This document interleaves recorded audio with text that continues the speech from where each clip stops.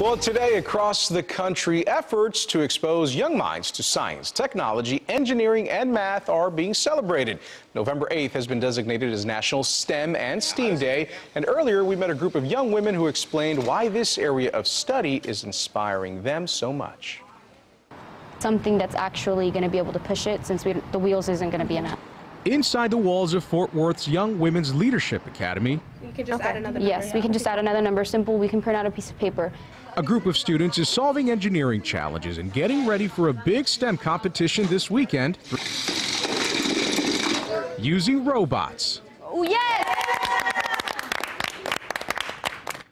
Senior Sandra Villagrana is the robotics team captain. She says her way of celebrating National STEM and STEAM Day is being thankful that she was exposed to it in the first place. I want to be either a mechanical engineer or a mathematician just because I've had these engineering classes and I've been exposed and I've fallen in love with it.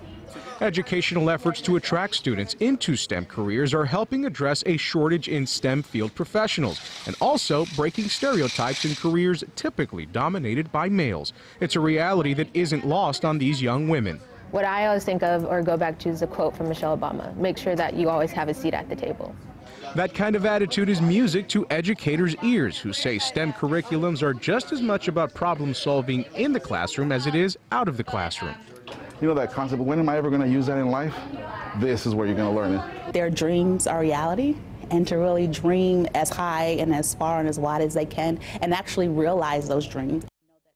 You know, I'm told the Young Women's Leadership Academy robotics team will be the only all-girls team at their competition on Saturday. And of course, we are wishing them the best of luck this weekend and with all of their future goals as well.